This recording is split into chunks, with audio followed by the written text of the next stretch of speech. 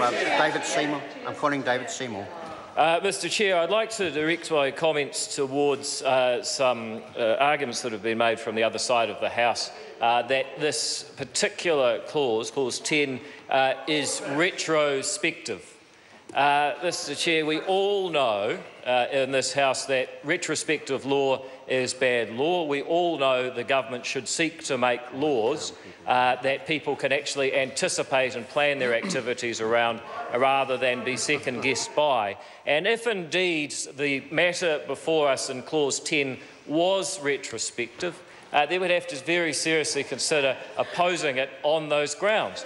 The great difficulty is that while the effects of Clause 10 is retrospective, it is clarifying a particular situation that is the Public Works Act and the Housing Act as they stand, which are also retrospective. So if we were to ask the question, is Clause 10 introducing retrospectivity into the statutes bill?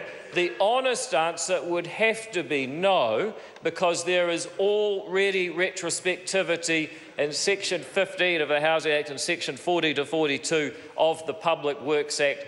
That is the confusion in the law that, part, uh, that Section 10 seeks to resolve. And it might help members to actually read what it says. It says to avoid doubt.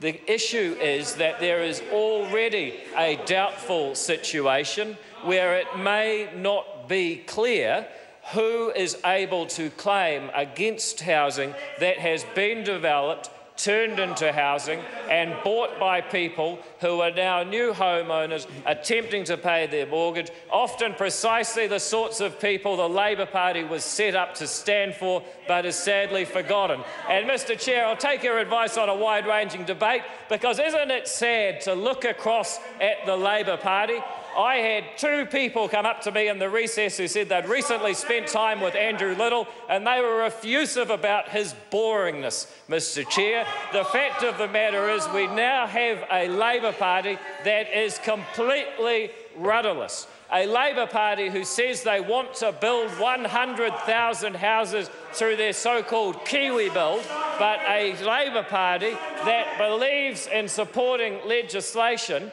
that is going to mean that any Kiwi-built homes, to modify the phrase, that are built on land that was Crown land, that was at any point in the past ever owned in any kind of private ownership will be subject to opportunistic legal challenge. If the Labour Party had any coherence in their desire to make housing affordable to more people through a program of government construction of housing, they would be very concerned to support this initiative because it actually clears the way for precisely the type of public policy that the Labour Party normally stands for. But, Mr Boring, unfortunately, the Labour Party does not have a coherent program. They are opposing this today because they think they can stand on principle, but it's not a principle that they have ever stood for before.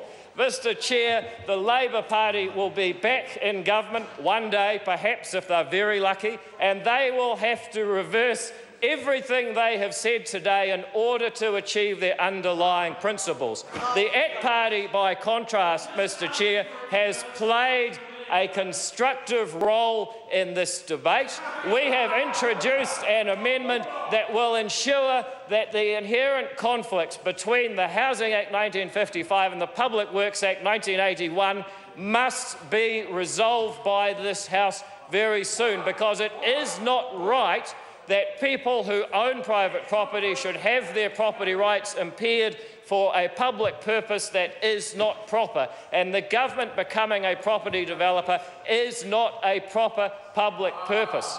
Mr Chair, I proudly stand for ACT as a party of principle that plays a constructive role in public policy debates, which is far more than could ever be said for the Labour Party, who have twisted themselves in contortions like a tightly wound pretzel in this debate. One minute standing up for property rights, one minute saying that there is a crisis in housing, and the next minute saying they want to build 100,000 houses on Crown land when they're voting for legislation that will make that all the more insecure and all the more difficult. Mr Chair, it's been hilarious to listen to the Labour Party. Thank you.